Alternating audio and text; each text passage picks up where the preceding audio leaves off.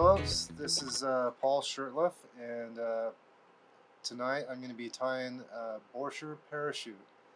Uh, it's a parachute pattern for uh, Hendrickson's and Iso, Isonychias and uh, various others. Um, for the tail on this is uh, moose body hair and then for the body is turkey tail and it has ribbing of uh, thin wire from Semperfli, and the uh, thorax is uh, superfine dubbing, and the post is Antron yarn, also from Semperfli, and it's got a few wraps of a Hebert Miner dark natural brown dun. So, get started on this. So for the hook, I'm using is a, uh, a Moonlit Fly Fishing. It's an ML052. And this is in the number 14. Uh, the thread I'm going to be using is uh, Semperfli wax thread, dark brown in 8-aught. And I'm going to start this right where I want the post to be. So I'm going to start the thread on the hook where I, right where I want the post and I'm going to take a couple of turns and then you can either snip or break it off. And then I'm going to come down here to about that point right at the start of the bend and that's where I'm going to do the uh, the tails. Now for the tails is uh, the moose moose body hair. And I'm using the moose body hair versus the moose mane because the the fibers are a little bit thinner and they're not quite as long. They seem to be stronger than the moose mane itself. So I'm only going to take just a just a few of them, like maybe four four to five.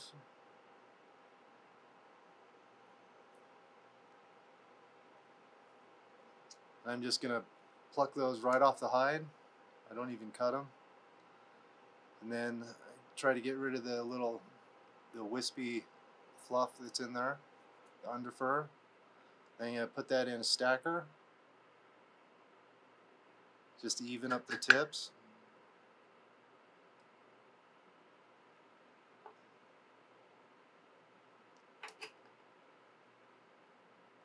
Now for the tails on these, I'm going to go a little bit longer than the, the, sh the shank itself. Almost like one and a half.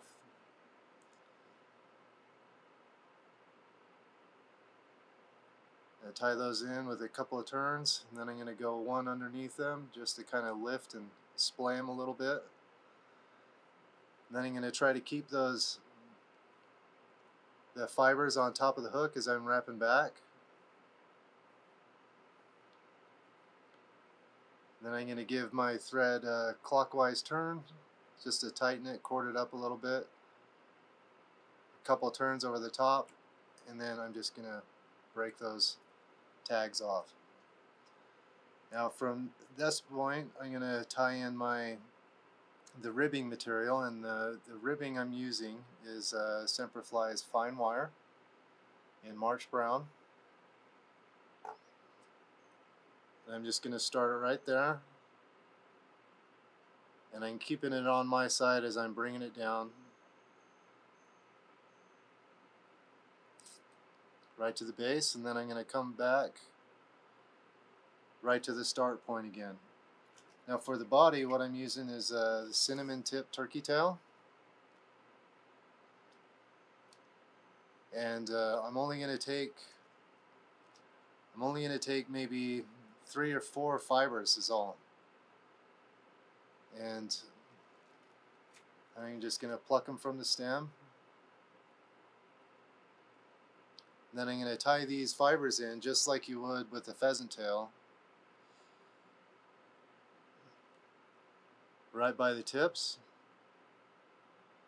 And then as I'm wrapping this back, I'm kind of I'm allowing it the uh, thread tension to bring it to the far side.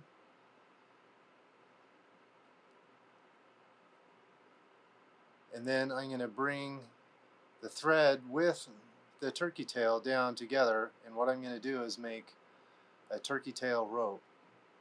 And I'm going to spin that on the thread just like you would a rope, a dubbing rope. And then I'm going to wrap the thread and the turkey tail at the same time to create the body. And I'm doing touching turns.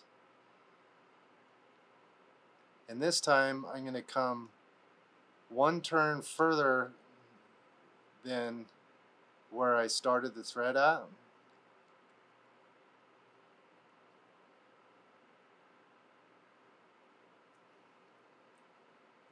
And then I'm going to remove the excess. Now for the rib, I'm going to counter rib that. And that isn't going opposite the direction I'm was ra uh, wrapping. And this is just for a little bit added durability.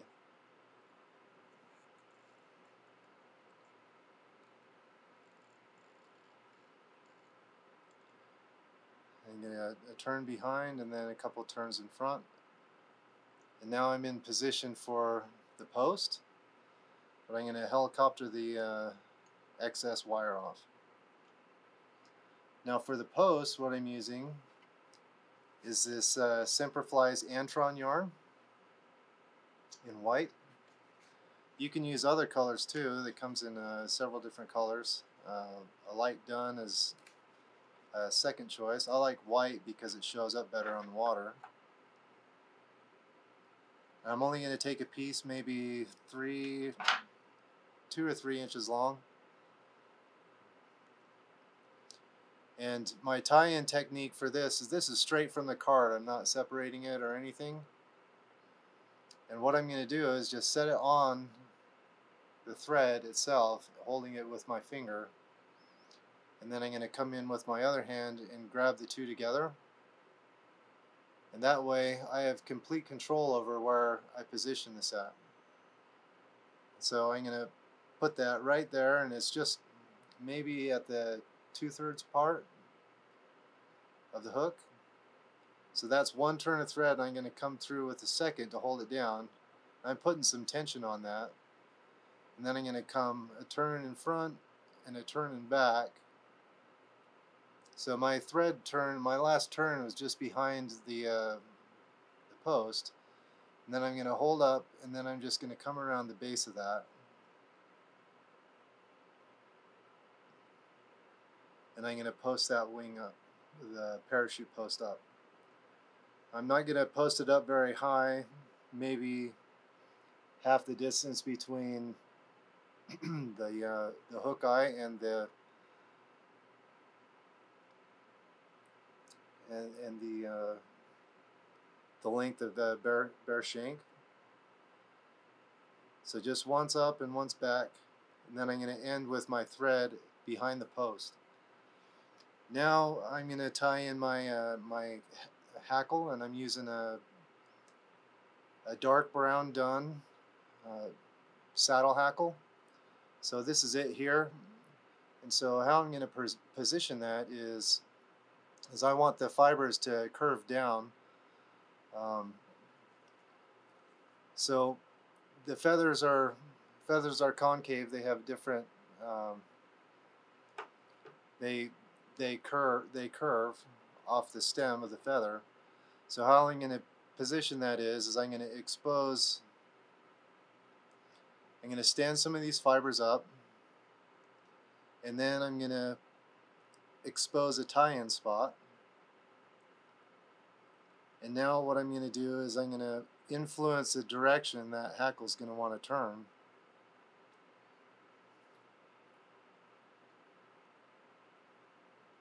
By creating a, a by creating something that looks like this. And that way, when I tie it in, I've got enough room to tie in. So that's one, one turn to lock it in. Two, and now I'm going to bring the thread behind the post and in front of the, the stem. And then I'm just going to stand them both up together and I'm going to wrap them around together and I'm going to post all the way up once and then all the way down.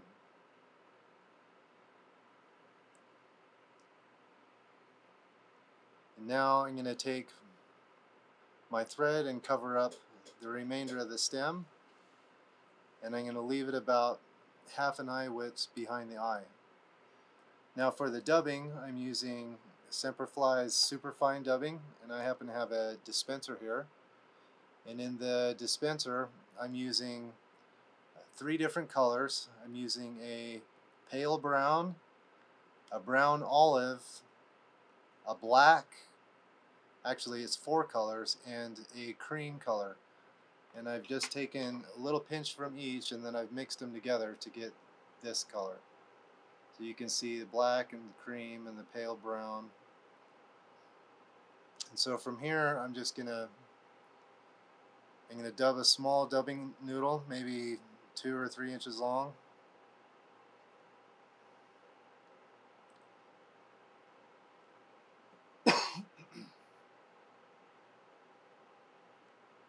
I'm dubbing that pretty tight.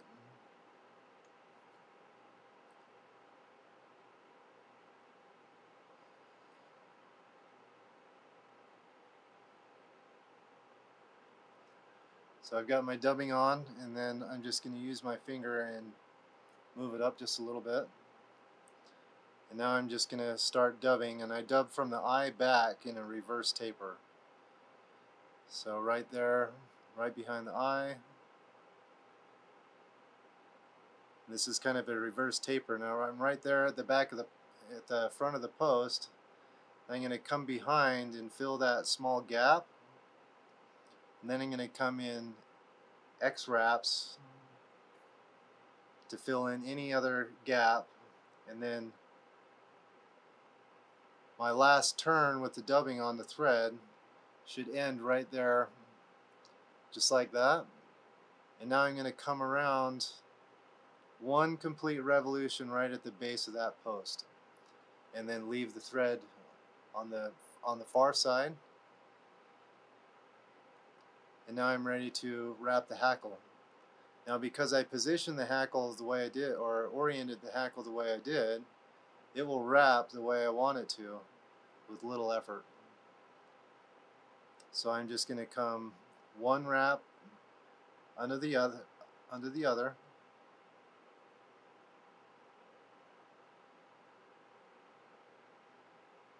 all the way down. I'm not even, I'm not counting. I don't know how many wraps there are. I'm not worried about how many wraps I'm making. I'm worried about um, just making that a, a nice full, uh, fully hackled fly.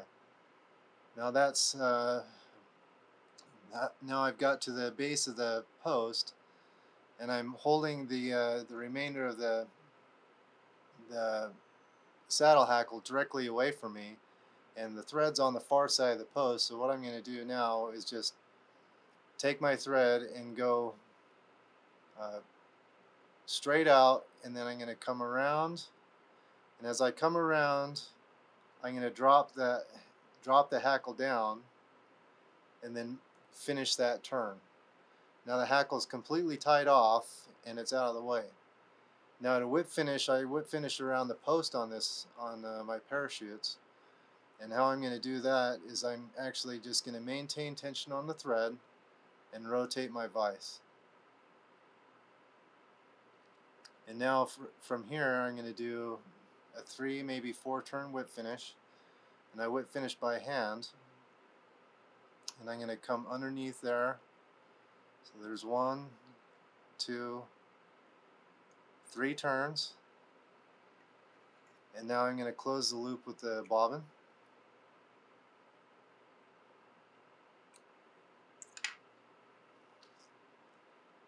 Now I'm going to maintain tension on the thread and just rotate the vise back around.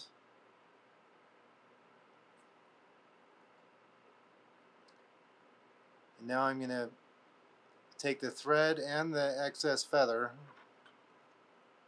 hold them together, and then I'm going to remove both at the same time.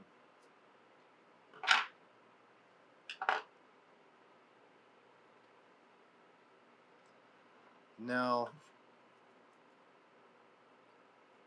Now I'm going to come up and trim the, the post. I don't like the post super high, but I like it high enough to be able to visible. And I clip it at a slight angle.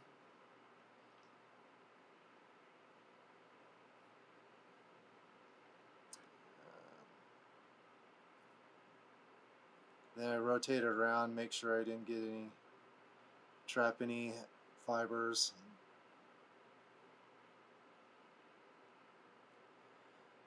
Now to finish it off, I like to use a little drop of the uh, Loon water-based head cement. I just put a little drop right there at the base where the thread wraps are. That soaks in and secures everything down nice and neat. And that is the completed Borcher parachute.